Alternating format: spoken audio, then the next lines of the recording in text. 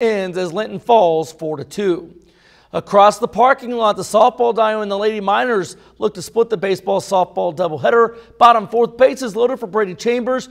She would have rather hit the ball than get hit, but she'll take the RBI all the same. Linton trails 3 2. Two batters later, Piper Bland sees the pitch for ball four. Just like that, the Miners have tied the contest at 3 all.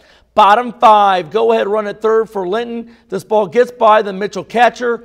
Abigail McKee wastes no time, motors in from third to put Linton on top. The Miners would hold on from there to take it four to three.